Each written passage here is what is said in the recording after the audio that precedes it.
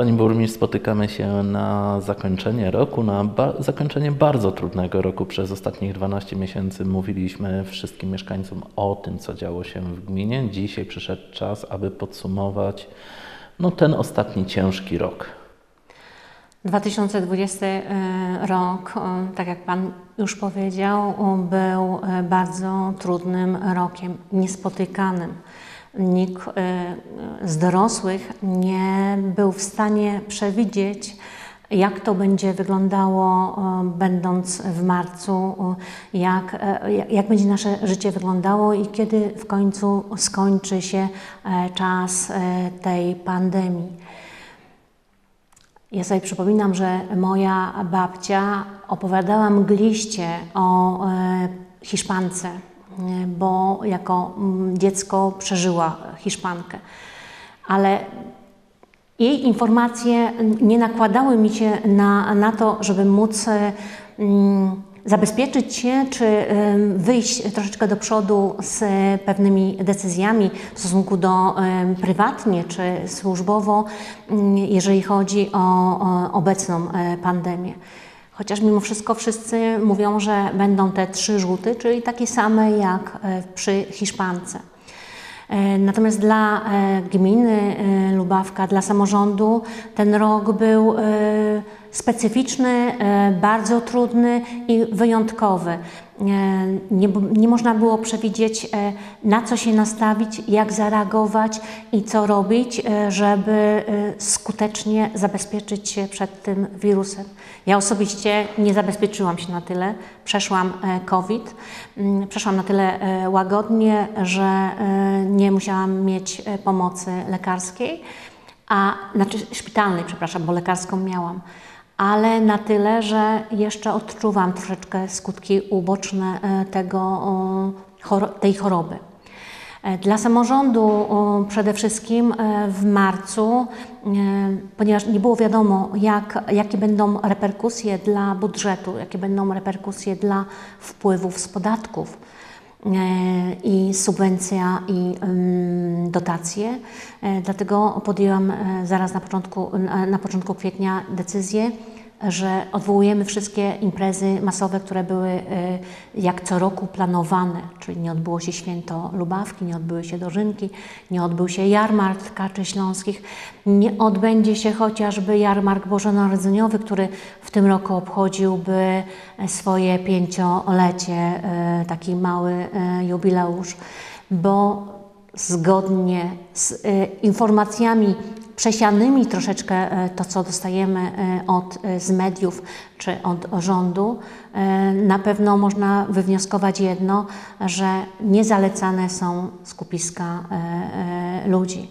Więc żeby nie narażać na moich mieszkańców na kontakt z wirusem, zdecydowałam, że w tym roku te imprezy nie będą organizowane. Natomiast to, co można było i trzeba było zrobić, to, to było robione. Czyli dwie inwestycje, które były rozpoczęte i które e, na e, dzień wybuchu epidemii obowiązywały umowy, nie można było ich absolutnie nawet zamrozić, e, czyli budowa nowej świetlicy w Opawie Wiejskiej i e, dokończenie inwestycji e, łączy nas Bóbr nad, e, w, nad całą, właściwie nad czwartą wielkości zbiornika był realizowany przez ten cały okres pandemii. Łączy nas Bóbr, kończymy już ostatecznie w przyszłym roku. Ja powtarzam jak mantrę, bo to trzeba powtarzać z tego, co się dzieje wokół tego zbiornika, e, dochodzę do wniosku, że za mało mówiłam o tej e, oczywistej oczywistości dla mnie, że zbiornik Bukówka e, był odwiecznym tematem, że nic nie robimy w sensie mm, uporządkowania tego zbiornika. W zagospodarowaniu turystycznym woda jest nam potrzebna w okresie letnim, bo ostatnie lata są bardzo słoneczne i z wysoką temperaturą że tej wody nie ma w dostępie e, w gminie Lubawka. E, dlatego e, jak pojawiła się możliwość zagospodarowania i uzyskania na to środków zewnętrznych współpracy polsko-czeskiej, nie omieszkałam i, i zrobiłam wszystko, żeby te pieniądze dostać. To inwestycja cała, którą realizujemy, to jest prawie 6 milionów złotych, z tego 80% jest dofinansowania zewnętrznego, czyli nas tak naprawdę e, będzie to kosztowało po zakończeniu całej inwestycji i po dokonanych zwrotach milion złotych. Nie wziąć tych 5 milionów byłoby grzechem zaniechania. Ale w 2017 roku miałam tą świadomość, że najpierw trzeba wydać 6 milionów, żeby później je odzyskać 5. E, Nasz budżet e, jest budżetem skromnym, mogę, mogę powiedzieć, z którym nie można poszaleć. A przypomnę, że to był okres akcesji e, drugiej e, ze środków z Unii Europejskiej Regionalnego Programu Operacyjnego, do którego myśmy z, zadeklarowali się z chęcią wykonania termomodernizacji i e, dokończenia rozbudowy mm, szkół, ale też i ratusza. To były równoległe inwestycje, które obciążały też budżet, bo najpierw trzeba było wydać, a dopiero później dostać refundację. E, Dlatego w 2017 roku e, podjęłam i cały czas uważam, że jedyną słuszną decyzję, żeby zrealizować wszystkie te inwes- inwestycje, które były realizowane od 2017 roku, e, że Bukówkę dzielimy na etapy tej realizacji wbudowania tych 6 milionów. Dlatego zaczęliśmy od tych najbardziej kosztochłonnych e, elementów e, tego zagospodarowania, czyli parking, budynki sanitarne. E, Później nastąpiła ścieżka, która była najdłuższym e, elementem do wbudowania.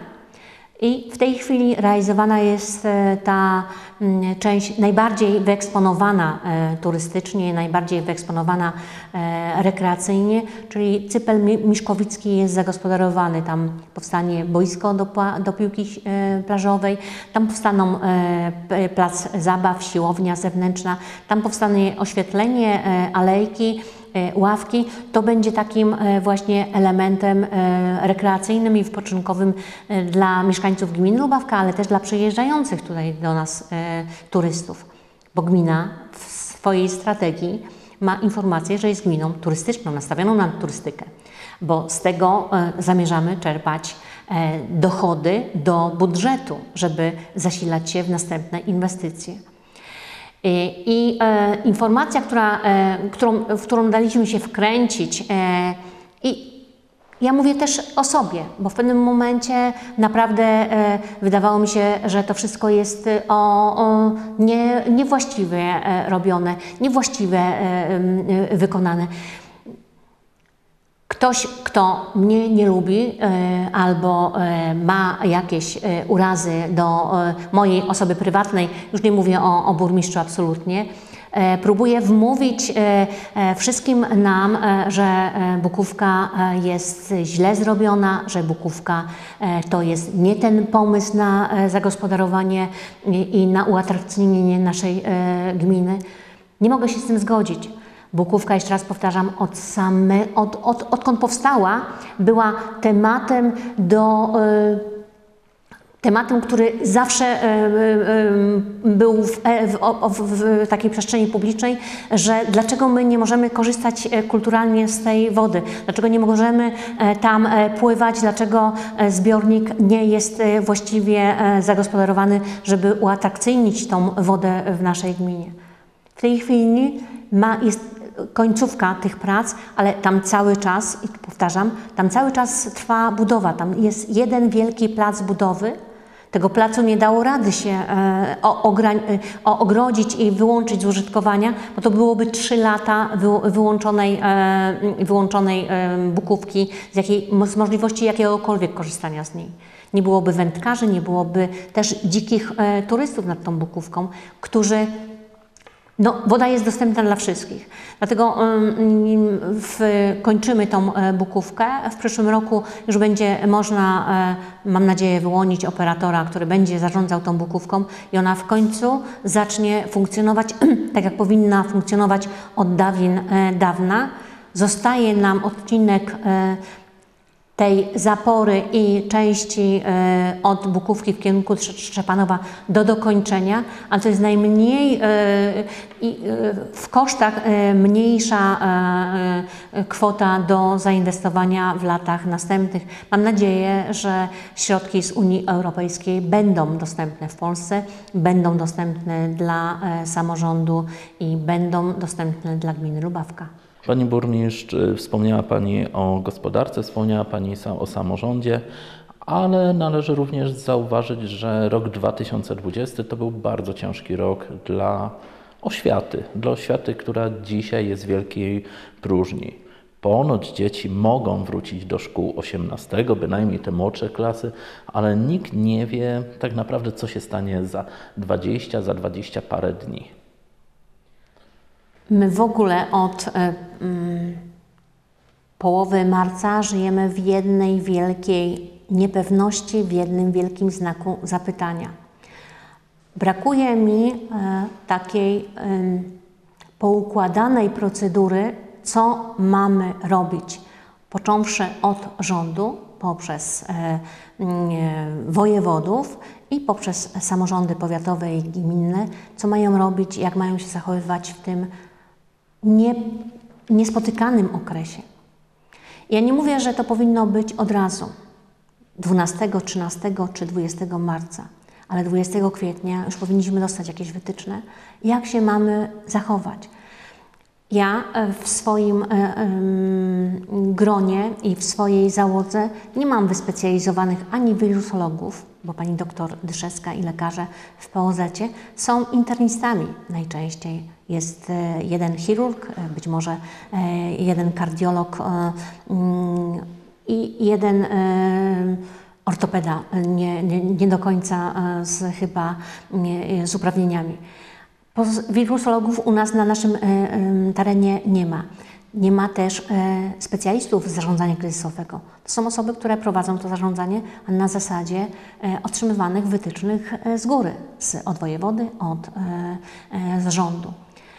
Tak naprawdę do tej pory nie dostaliśmy żadnych procedur, które by ułatwiały zarządzaniem naszą gminą. E, robiłam e, i robiliśmy z całym zespołem, e, łącznie z jednostkami pomocniczymi, jakieś takie własne na, na wyczucie działania, które no, w jakiś sposób e, niwelowały to zagrożenie, uniemożliwiały rozłożenia całej gminy na łopatki, jeżeli chodzi o niemoc e, budżetową, o niemoc organizacyjną, o e, niemoc zapewnienia tych podstawowych mm, obowiązków, które na nas ciążą wobec mieszkańców. Mam nadzieję, że to się nam udało w mniejszym lub większym stopniu. Takie były założenia.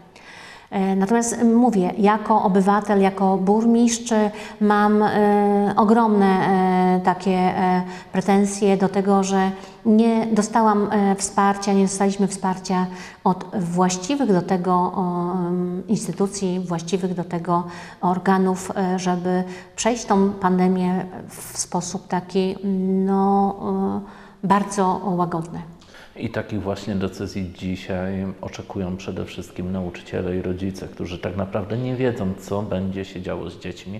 Przypomnijmy, że jeżeli problemy są już w klasach młodszych, bo takie problemy są chociażby z dostępem do internetu, z dostępem do sprzętu, to bardzo duże problemy piętrzą się już w klasach ósmych czy w klasach maturalnych. O ile nie obawiałabym się tak bardzo mocno o um, klasy y, te y, 1-6, bo to teoretycznie, jeżeli pandemia zakończy się na wiosnę przyszłego roku, to będzie można powoli, powoli odrabiać te zaległości. Nie wiem, być może e, zostanie wymyślony jakiś e, system e, uzupełniania tych braków.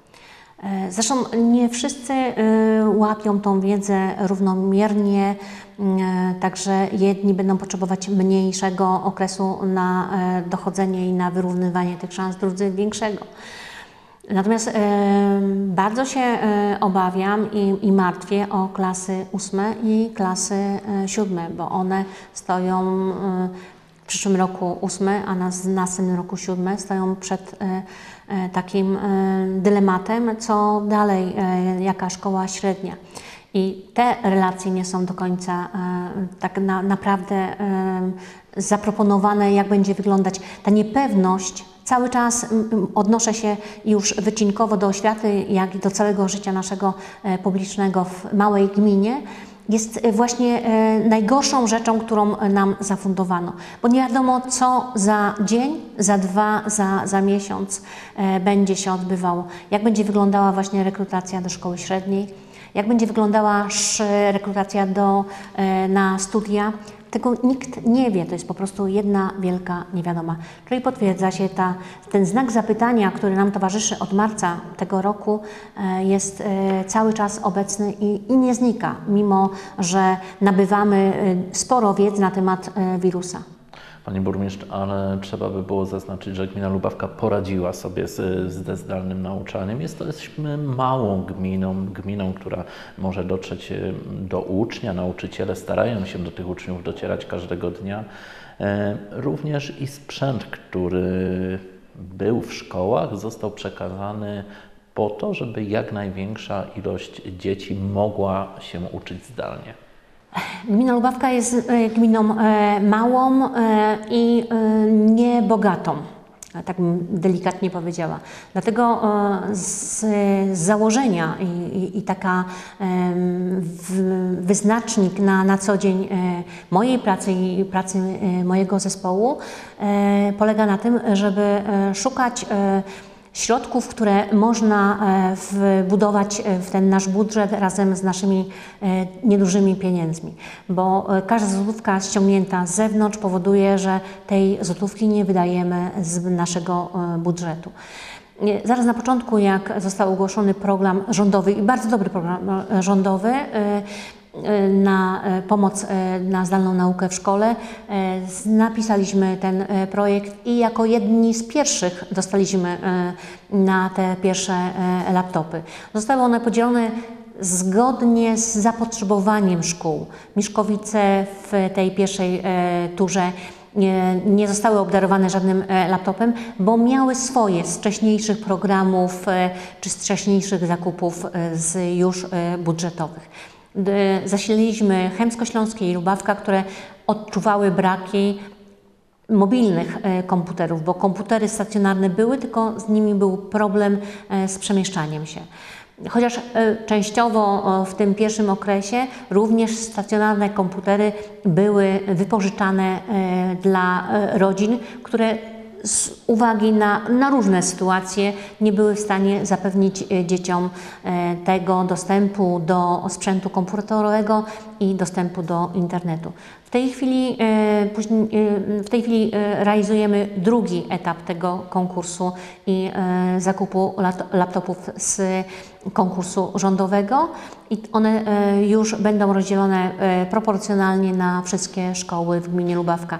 Czyli doposażymy e, Chemsko-Śląskie, doposażymy Lubawkę i doposażymy Miszkowice w niezbędny sprzęt, żeby można było zapewnić, że wszystkie dzieci, które nie mają tego sprzętu domowego, a które potrzebują do nauki zdalnej, dostaną ten sprzęt. Wypożyczony będzie ten sprzęt, bo to cały czas są sprzęty wypożyczane. One po okresie zdalnej nauki będą musiały wrócić do, do nas z powrotem.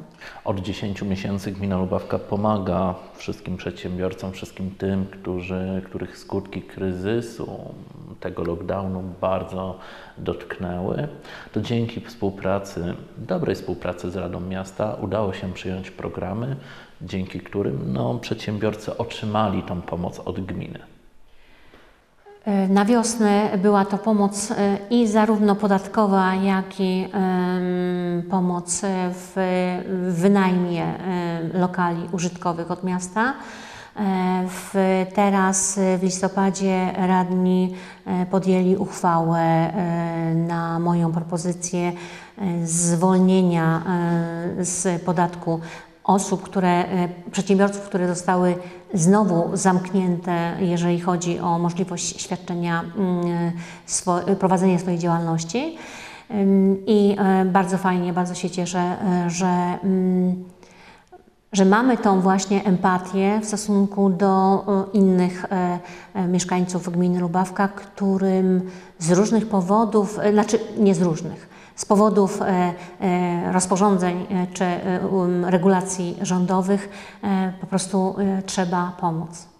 Pani burmistrz, Lubawka musi zostać w Unii Europejskiej, czy dzisiaj no tak naprawdę Unia Europejska samorządom nie jest potrzebna?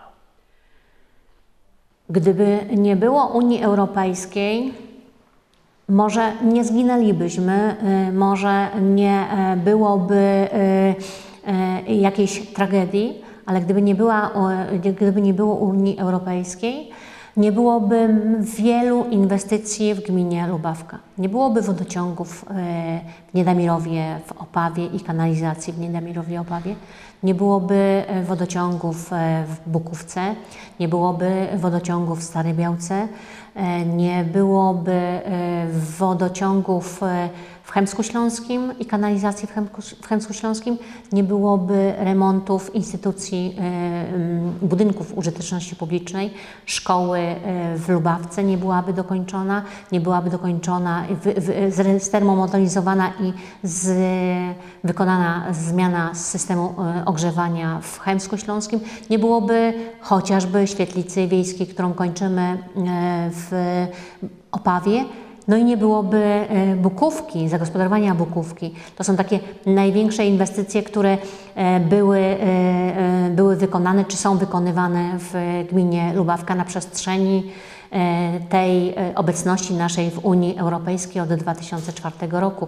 Chociaż część inwestycji była też wykonywana przed akcesją z tak zwanych pom- pomocy przedakcesyjnych i z tego też gmina Lubawka korzystała. Ale nie byłoby również czy to wymiany piecy, źródeł ciepła, czy modernizacji wielu gminnych ośrodków zdrowia. Nie byłoby współpracy między samorządami jarmarkaczy śląskich, e, MTB. To są wydarzenia tak, tak zwane miękkie, które są organizowane również wspólnie z, zasilane e, z, ze środków e, miękkich Unii, ze środków Unii Europejskiej. Nasze życie naprawdę byłoby mm, dużo mniej barwne, dużo e, mniej e, wyeksponowane, a przede wszystkim e, nastawione na, na wymianę e, takiej e, wymianę między samorządami czy między państwami. E, My sporo e, korzystamy jako gmina Lubawka właśnie z, z, pomocy takiej między e, Polską a e, Czeską Republiką. Tego by nie było, e, takiej otwartości na sąsiadów e, z zagranicy. Pani burmistrz, dzisiejsza nasza rozmowa to świetny sposób na to, żeby podziękować. Podziękować tym wszystkim, którzy przez ostatnie 10 miesięcy walczyli z epidemią. To są lekarze, to są pielęgniarki, to są pracownicy chociażby ośrodka pomocy społecznej, a także Pani najbliżsi współpracownicy, a także wszyscy mieszkańcy gminy Lubawka. Tak jak powiedziałam na początku, 2020 rok zaskoczył nas e, pandemią. Nikt z nas nie był na to przygotowany i nikt nie mógł być przygotowany. Ale sposób, w jaki żeśmy przeszli te 9 miesięcy, e, jest e, dla mnie zaskakujący pozytywnie, bo mimo tych utrudnień, pomimo tych przeciwności, daliśmy radę przejść przez ten okres jak najbardziej, jak najmniej poobijani. I za to Państwu serdecznie dziękuję, za to wszystkim, którzy się przyczynili do tego, e, bardzo, bardzo e, serdecznie dziękuję. Pani burmistrz, powiedzmy sobie szczerze, wielu z nas tęskni za swoimi rodzinami, wielu z nas, no, spędzając samotnie święta, przeżywa swoje małe dramaty. Będzie lepiej? Ja jestem optymistką, więc e, dla mnie e, musi być lepiej. E, jeżeli mogę wrzucić do każdego z Was taką dozę optymizmu, to chciałabym to uczynić w tej chwili. Pozytywnych ludzi mam wrażenie, że choroby rzadziej doskwierają, rzadziej docierają. I tylko właśnie pozytywne nastawienie powoduje, że jesteśmy w stanie znieść te przeciwności dnia codziennego, e, a w tym wypadku, w, tym roku e, przeciwności te wyjątkowe, pandemiczne. To jest czas, w którym powinniśmy się więcej uśmiechać, być dla siebie życzliwi, pomocni i nie, nie powinniśmy również zapominać o wszystkich tych, którzy być może za ścianą będą bardzo samotni. Przychodzi mi na myśl e, taka rada, którą dostałam kiedyś od e, znajomej e, starszej osoby. Mówi, mówiła tak, Ewka, uśmiechaj się, spróbuj się uśmiechnąć do każdego, a zobaczysz, że co druga, co trzecia osoba odpowie Ci takim samym uśmiechem. Dlatego zachęcam Państwa do uśmiechania się, nie do śmiania się, bo to do uśmiechania się. I jeżeli będziemy życzliwi dla tego, który jest e, po drugiej stronie, e, mm, dostaniemy odpowiedź e, taką samą albo podobną. Może nie od wszystkich, ale jak od co drugiego, to już będzie to naprawdę mega osiągnięcie. Mm, Nauczymy się takiej życzliwości i wzajemnej tolerancji, wzajemnej pobłażliwości. Nikt nie jest doskonały i e, ta świadomość e, jest e, podstawową rzeczą, żeby uśmiechnąć się właśnie do drugiego człowieka. I gdy będziemy się uśmiechać, będziemy mniej tęsknić za tymi, którzy są daleko od nas. Środki teraz komunikacji są o tyle dobre i, i takie powszechne, że można zniwelować tą odległość. Ja sama jestem w tej sytuacji, gdzie mm, moje dzieci e, nie mieszkają e, razem ze mną. Tęsknię ogromnie za nimi, e, tęsknię za wnukami, ale e, ta namiastka e, oglądnięcia zdjęć czy rozmowy przez telefon czy e, przez Skype'a powoduje, że niwelujemy tą różnicę, chociaż nie nastąpi to nam przytulenia i takiego obcowania, dotykania cielesnego, aczkolwiek no, na miarę tej pandemii trzeba sobie radzić i uzupełniać tę dozę endorfin tak, e, w taki sposób, żeby e, uśmiech jednak gościł na naszych e, twarzach. I mieć nadzieję, że to są ostatnie święta, które spędzamy osobno. Tak, tego Państwu i sobie życzę z całego serca. Dziękuję bardzo za Dziękuję Panu, dziękuję Państwu.